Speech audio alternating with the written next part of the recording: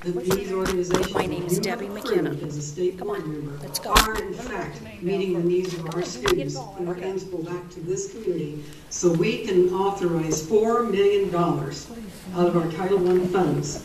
Thank you, sir. That's all. I don't have a question. I just have a request from you. Thank you very much. And uh, stay tuned, ma'am, that I've noted, noted that, and and going to make sure that comes up in the next topic, because we as a board have never had that come before us. We've never been asked to vote on it. State board approves Good it. point you just made, thank you. Uh, Thank you, Mr. Chapel. Our next speaker Thank you. is Mike Shawns.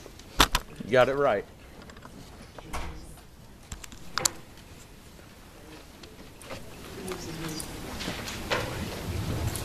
And sir, before the clock begins, you don't live in Wichita? No, I live in. Do you- Our schools will be affected in the long term by what would pass. You don't have students that attend No, ma'am. USD 259? No, ma'am. Okay, we will go ahead and hear from you, but understanding that you are not within the district, go ahead, sir.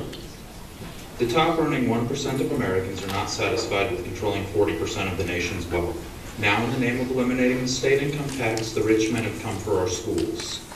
The assault on public education is being perpetuated by the American Legislative Exchange Council, or ALEC.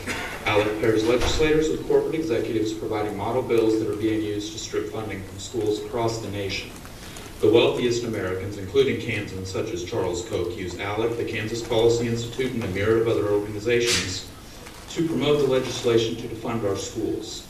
The idea is to diminish the capacity of the public school system to adequately educate our children, creating a higher demand for the private school industry. Governors and state legislators across the nation are working with ALEC to gut public education.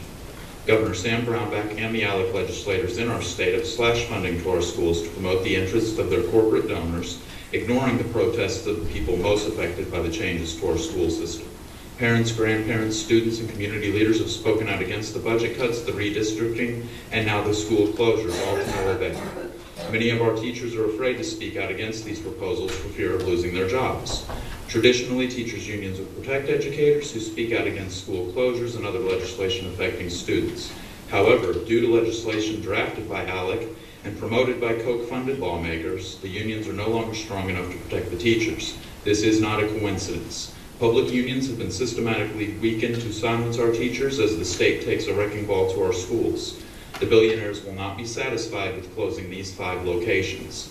More schools will be closed and replaced with much larger factory, factory-like facilities designed to save money rather than saving children. Instead of receiving the personal attention they deserve, the Kansas student will be reduced to little more than a number. The quality of public education will suffer, giving rise to private schools whose primary goal will be to provide the least while charging the most. Our students will be packed into enormous classrooms, drastically increasing the student-to-teacher ratio. All of this will result in our students receiving a substandard education, leaving them unarmed in the economy of the future. Kansas, being home to Koch Industries, is the testing ground for this anti-education agenda. Similar legislation drafted by the same people can be seen in states like Wisconsin, Ohio, Florida, Louisiana, Michigan, and New Jersey, just to name a few. We as Kansans need to put a stop to this now.